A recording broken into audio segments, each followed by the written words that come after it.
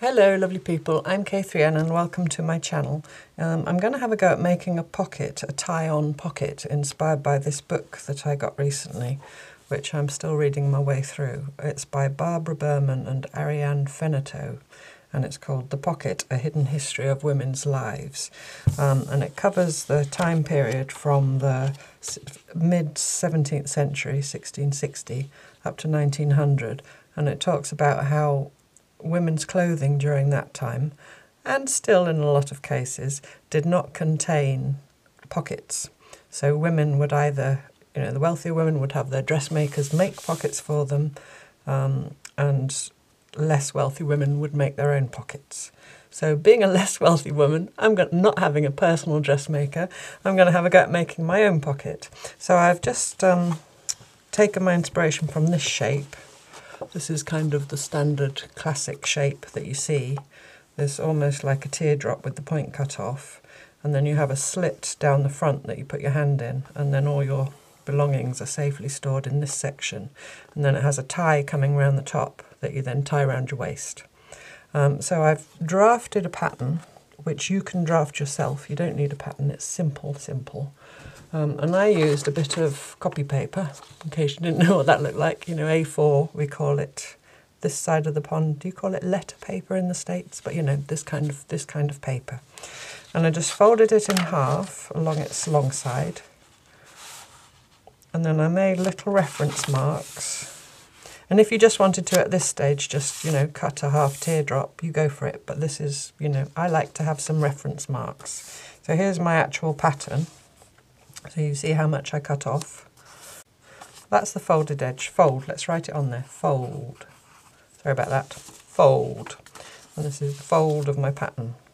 So from the fold out two and a half inches here. And then from the bottom up on the unfolded side also two and a half inches here. And then from the fold to here is about two inches like that. Okay, so I had those three marks. So then with a ruler I just connected those two marks from there to there, like that. And then I just drew, I'll just turn it around because it's easy for me to draw, a curve like that, there. Now if you wanted a more regular curve you could, you know, find something round and draw around the edge. And then I cut that out. And then the final thing I did, and here it is cut out, the final thing I did was measure down from this top through the centre on the fold six inches and made a little mark there because that's where the opening will be, you know, to get our hands in. Clear so far? Hope so. Um, so from there I cut out some pattern pieces, some pieces. So I did, um, this is the back, if you're following the weekly slow stitch backstories. There we are. Um, I cut a piece out of some very thin old sheet and then onto the one side of it I collaged lots of scraps of cloth. You know, I laid them on, overlapping them slightly, all little bits and bobs. Um, invisible basted them. Um, and then I did lots of Kantha inspired stitching out of my thread ends in both directions because that's the look I like. If you wanted to do some embroidery or just choose some pretty cloth to start with and not do any stitching or whatever, you know, you just need a top piece. And you see that I've cut out that six inch um, slit there for your hand. So that's the top piece. So then you'll need um, a lining piece. This is a bit grungy. It has been washed. That is old linen. I think it was an old tea towel. Has been washed, but that's a stain. But I like that. And anyway, it's going to be inside. So then that's one lining piece that will go on the back of this. Now if you had one piece of sturdy cloth to begin with, you know, like an upholstery cloth or something, you possibly wouldn't need to line it, that would be up to you. But I'm going to put a lining. So that piece there, and that will also have in a bit that slit cut in it, and then a backing piece. And I'm just going to use the same cloth again. It's quite flimsy, but I think it'll be okay. Um, I don't want the whole thing to end up super, super bulky. So there you go. So there'll be three layers with mine. So there'll be the top piece with a lining. Am I? Sorry, keep going. I keep creeping out of shot. There'll be the top piece with a lining. And then there'll be a backing piece. And then the other things you'll need are something to finish off all the raw edges. I'm going to turn it sideways because then you can see it all. So I've got some little strips of, this is very fine cotton, this is from, um, actually they were my dad's pyjamas. Um, I'm going to have to join strips together, but you need some binding to go all the way around here. And that length, um, if you want to write it down on, on this pattern, is 31 inches, ish. It's always ish. And then you need another piece of binding to go around the opening of your pocket, which is 13 inches because it's 6 plus 6 plus a bit extra wiggle room to get around the corner and so on. All of my strips are one and a half inches wide. And the other thing I've got to bind the slit is some bias binding. And I don't know where I got this from. It came out of a, you know, job lot of something. It's not the world's best bias binding. It's a bit bright red. I could have tea dyed it, but I didn't. Um, but it's just easier, I think, to get round, I hope, to get round this, this part of the, the slit if you've got bias binding. If you don't have bias binding, you could cut some cloth on the bias, you know, cut, cut a piece out on the diagonal. And for this length, it was the slit six inches long, so you need 12 inches, and then I'd do an inch or so more just to enable you to get round there. So that's 13 inches, okay? Um, and then finally you'll need a piece across the top which will be um, six inches or so. Although it's only five inches, I want to just turn the ends under just for neatening it off, you know, when I put it on. And then the final thing you'll need is something to go around your waist, you know, something to attach to the pocket and go around your waist. And I've got this um, old bit of cotton tape, which happens to be black, but, you know, I had this in my my basket where I keep that kind of thing. If you didn't have anything like that, cotton tape or anything, you could just get another strip of, you know, a long strip of cloth or join some strips together and do a double fold like that, you know, and then fold it in half to encase the raw edges. And then stitch it either by hand or machine, whichever you fancy. Um, mine, for reference, is a whopping 50 inches long because I put it around my waist and tied a bow and I wanted some ends. So, you know, that was if you don't want to know how long it has to be, just get a bit of string, put it around your waist, and that's the length, and don't worry about numbers. Right.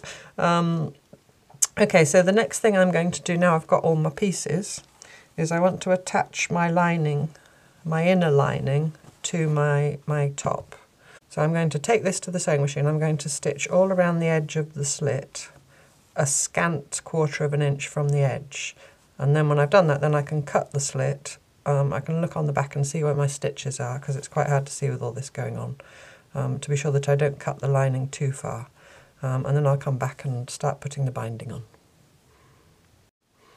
Okay so I've cut my slit, I've done my stay stitching and I've cut my slit out. So now I need to put the bias binding on. And I think the easiest way to do this is to make that V into a straight line. Um, so I've got it now right sides up and I want to sew the bias binding here. Uh, I'm just checking because I know this is joined here and there and I don't want to have a join if it's not necessary. So with bias binding you just match the fold with your stay stitching line. My stay stitching line is super wonky but you know, or just inside it and then you push the fold out and then that fold line, can you see? Hang on, I'll put a pin in and I'll show you. So you want to make sure you're just inside the fold line, uh, sorry, the stay stitching line, just this side of it. And then you push the fold out and pin it. And then the fold in the bias binding is your, um, your stitching line. If you made your own bias binding, you could press the folds in, you know, with an iron. So I'm just going to pin that all the way along. If this seam is too bulky by the time I've finished to get my binding round, I'll just trim it a bit. No worrying about that. And then you could then go and sew this on the sewing machine, but um, I'd much rather do it by hand because of this. You know, just think it would be tricksy. But if you've had got a lot of experience of dressmaking or whatever, you're probably going, yeah, yeah, whatever, Catherine. It ain't tricksy at all. We can do that. So then you go and do that. But if you haven't, then I would recommend doing it by hand. So coming down here into this awkward bit, hope you can see, I'm just going to really make sure, without pulling the binding too much out of shape, but I'm really going to, do you see, I'm really going to ease it around there, using its natural stretch. And put a pin in. And the advantage of hand sewing then of course is when I get there I can always stop and adjust and and so on. So I'm just going to finish pinning that all the way along to the other end and I'm going to sew it and I'm going to use a running stitch um, with a locking back stitch. So I'm going to take two running stitches forward and then a back stitch and then two running stitches forward and a back stitch and so on. You could do a back stitch all the way if you wanted to. That made you happy. There we go. now I'm going to trim the end off. I'm going to trim it always, I always trim it a bit big. I can always cut more off. It's easier to cut more off than sew more on. Um, and now I'm just going to get my needle and thread and I'm going to sew that. So when I've done that, I'll be back. I might come back here if it's super tricksy and I think I need to show you something else. Okay, that didn't go too bad at all, so I didn't worry about coming back. I have every faith in you. I just went very slowly and carefully round there. Um, and made sure my stitching went right down into that point. point and in there actually I did back stitches all the way just to you know so now what I'm going what and the other thing I did sorry was I trimmed back everything that was poking out past the the bias binding so now I need to turn that to the back to the inside and I'm going to just do the same thing again from the other side and um, whip stitch that down into place so just fold it over and put a few pins. And with my whip stitches, I want to be careful that I don't go through to the front, which for me, with because of all the extra layers I've got, is um, not a problem. Um, if you didn't have the extra layers, you know, to bury your stitches into, then maybe you could stitch it down with, um, you know, some kind of decorative stitch. So, or you, you could, from the front, you could stitch what's called stitch in the ditch. So you could stitch right along the very edge of the binding so that then it would trap, trap it down on the back, but on the front you wouldn't see it. Or you could do some kind of, you know, just running stitch that you could see, whatever just to trap that back down. Hope that's clear and given options for variations. So again, I'm just going to pin it round the round the um, awkward bit. This is this is the worst bit. When this is done, it's straightforward. Probably for a lot of you, you're saying, "What what's your problem?" But like I said, I'm not a garment maker. In fact, I'm going to leave that unpinned, I think, and sort it out when I get there. Um, so get a bit of this. So I'm just going to do, I've got this red Sylko to match the red, but it's inside so it doesn't, you know. Obviously your colour will vary depending on what you're doing if you want it to be invisible on the inside of your pocket in case a little mouse climbs in there and says, oh, I can see all your stitching. it Doesn't really matter what colour it is, does it? It's on the inside of the pocket. Anyway, I've got this red, I'm going to use it if I can only get it in my needle. Okay, so I'll just start the blind stitching, the whip stitching. Um, then I'll go away and finish finish doing that off camera and then I'll um, come back and I'll do the next bit.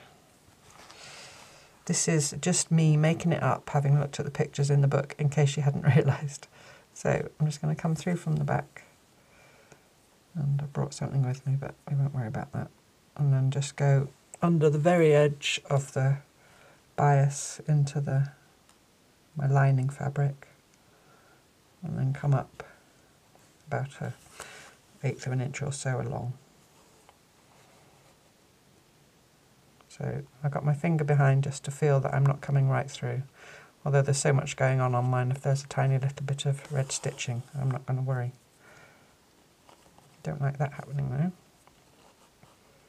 So do you see, just literally off the very edge of the binding into the backing cloth and then forward a bit. And I'm going to go and do that all the way around and then I'll come back. Okay, that went okay. I amazed myself. Um, it's not too bad in the little, um, you know, point of the V. And that's how it looks on the back. So you just have to kind of ease it in, you know, and fiddle and faff. But you can do it. I'm sure you can do it. So the next thing I'm going to do now is um, get those. I put a few little pins in just to stop the lining from flippy flopping about. I'm going to get the, the backing piece. So all my pins out. I'm going to get the backing piece. I'm going to get the loose threads off it.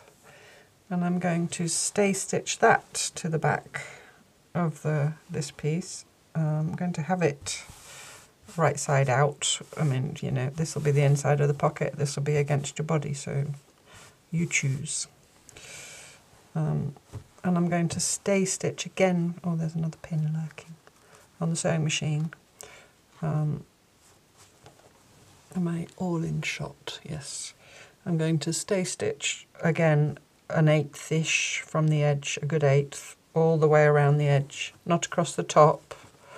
Am I going to go across the top? Yeah, why not? I'll go across the top as well. Yes, I'm going to stitch. Let me turn it sideways. I'm going to stay stitch around the whole thing. And then the opening is here. Um, a little note, I made my opening six, six inches. My hands are quite big. Um, so it's maybe worth checking. maybe it's too late now. Yes, my hand fits. You know, my hands are quite big and they fit. I didn't want, you don't want to go too far down because you're losing useful pocket.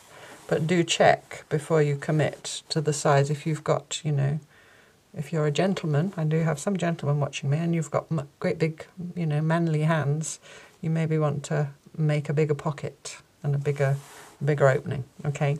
So anyway, enough wittering about that. It just occurred to me. Sorry. So I'm going to go and stay stitch on the machine all the way around the edge. If you don't have a sewing machine or you know you want to do it by hand, then of course you could do that. But I'll go and do that and then I'll be back. Okay, I've done that and um, I've changed my mind about, I like the look of that red so much that I'm going to use the red all around the edge as well. I think it would not have been problematic to have strips that were not on the bias around that curve because it's quite a gradual curve.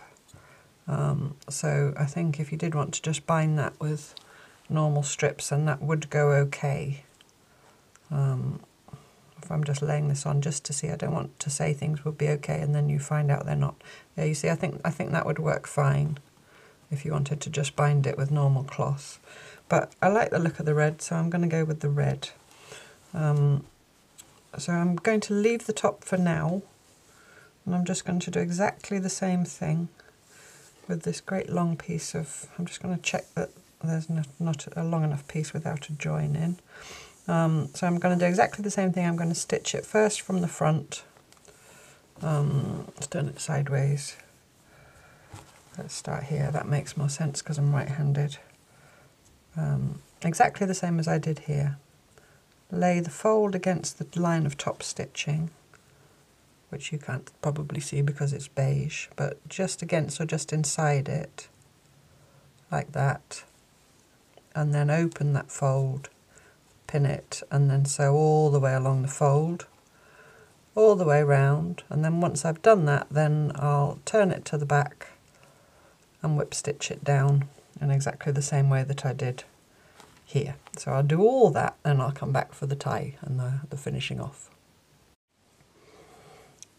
Here we go, so it's all bounded, bound, bounded, binded, bound, bound bound is enough. It's all bound with my red, which I'm really pleased with. I think it really makes the um, stitching and everything in between, it gives it a nice frame. I'm going all bright colours. Last Friday I did the rainbow and now I'm doing bright red. Um, my binding's slightly wonky on the back. Well, that's just me. It's just how it turned out. But it doesn't matter. So the final, well the second to final thing to do is to bind this top edge. Now if you are going to use a long strip of cloth folded for your ties as well, what you could do is just use that same strip to bind the edge. So if I just show you with this smaller bit, so you would do exactly the same thing as we've done, or as I've done with the bias binding, but you'd have this long enough, you know, for your ties, however long that needed to be. So then you'd stitch it there and then you'd fold it over and fold it under again on the back and stitch it down. And then you just carry on the folds. Can you see? Then you just carry on the folds in and in like that. Do you see what I mean? To make the ties. So then your binding and your ties would just be all in one. I've also seen them made with a loop, so you could hang it on a belt if you wanted to do that rather than the tie but I'm going with the tie. So the only difference here with the binding is because I'm going to have two raw edges, I'm going to turn the edge in, the end, the end in. So I'm going to do the same and I'm going to have it slightly longer, match my fold of my bias binding with my, my stay stitching line. And then I'm going to have it about a good quarter inch or so longer, like that. And then I've put my fold up open my fold up and then fold the end in. Do you see, do you see? And then stitch that down, put a pin in it. And then exactly the same thing at the other end. So I'll pin that on along that, just inside that stay stitching line. And when I get to the other end, I'll trim it to fit. Just going to check here that it doesn't look weird. Oh no, it's fine because it's open a little bit. Just, I think it got pushed open when I bounded, bound it, but I don't think that matters. And then when I get to the other end, I'll just trim the binding off, leaving um, quarter, half an inch or so extra somewhere there so then I can fold that in. And I folded that edge, that probably ends up neater, under the same angle as the side, I just audition. Yeah, I think that ends up neater.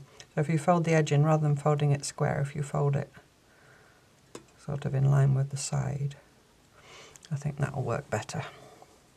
So I'll go away and do, so I'll stitch that, flip it over, and stitch it on the back. And if when you stitch your binding on then you find there isn't enough to turn to the back, you can just trim this seam back a bit, you know, to however far back you need to trim it. And if you've gone a bit wibbly wobbly, you could also then trim that seam straight. Um, and then, see my binding on the front looks straight, so who cares what the back looks like. Um, so I'll go away and do that and then I'll be back um, to sew the, the tie on. Okay, so that's all my top all bound bound it, um, bound, and I did some little whip stitches over the edge there just to neaten it up at both sides. So all I'm going to do now is put my tie on. Um, so here's my tie,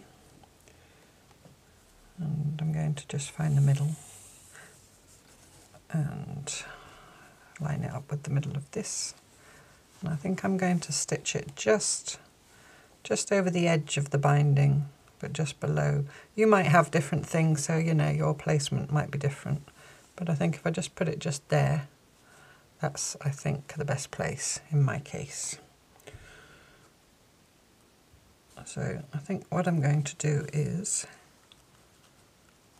just do a running stitch along the middle. It's quite sturdy, this woven cotton tape. Um, but I think I'm going to do a running stitch up the middle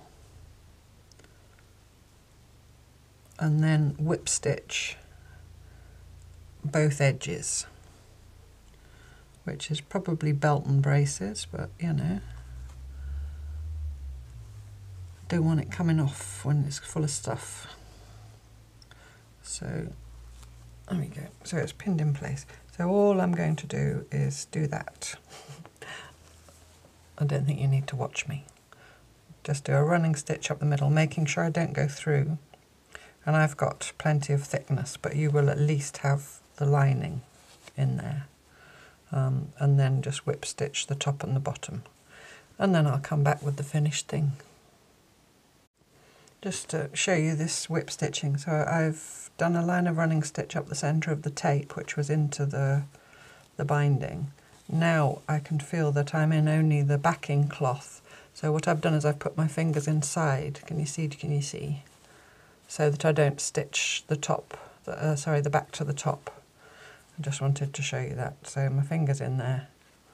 My little stitches will be visible on the inside of the lining, but unless aforementioned mouse is um, in there expecting, inspecting my sewing, I don't think it's anything to worry about. My stitches are small enough that they're not going to, you know, offend even the mouse, I don't think. Unless it's a super finicky mouse. And I'm not even sure that, you know, three lines of stitching are completely necessary, but you do what you feel is necessary. Now it might be that here, as I come across here, the stitch might show. So just be aware of that, you know, if your pocket has got this little gap like mine's got. Probably because I didn't pin it when I stay stitched around the edge on the sewing machine and it moved a bit. But, you know, it's difficult to say what's right and what's wrong because to me it's wrong if it offends you and if it doesn't then it's right. I'm just pointing out the possible, see there's a little tiny back, black stitch. I don't mind, it's not bothering me. And there's probably going to now be another one.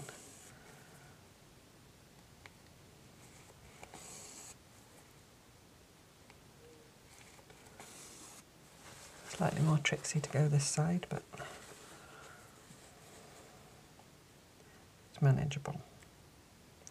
So when I come, when I get to here, I'm going to whip stitch back down that side as well, just to neaten that side. But there I'll be into the thickness of the seam and the binding, so I would think that's no problem. So I'll do all that and then I shall um, show you the finished thing. Okay, there we go, all finished and I'm wearing it. I hope you can see. Sorry, I'm trying to get it at the right height. I can't get further away. Hello, I'm all the way over here. Um, so that my head's in and the pocket's in. But anyway, there you go. You see I've got it around my waist. I've just got it tied here. I'm wearing black today, so you can't see the black tie. Um, but it's tied to one side. Get my hand in it. It's quite, you know, deep and roomy. I was um, thinking of showing you it with my phone in because I think that's what most people would put in it for going out and about. But I'm filming with my phone so I can't. Um, but yeah, so there you go. I hope you enjoyed that. A lot of people wear them, well, some people wear them. Marion, on Marion's World, I know, has one that she wears under her skirt. She makes skirts with slit sides. Perhaps I'll put a link below to her tutorial or her making a skirt. And then she puts a pocket underneath where I live, I don't have to worry about pickpockets because um, there's no people. um, so, you know, I think I definitely will wear this when I go walking in the woods or whatever. So I hope you like that and um, hope you like my new pocket. And thanks so much for watching as always and I look forward to you joining me next time for more cloth tales.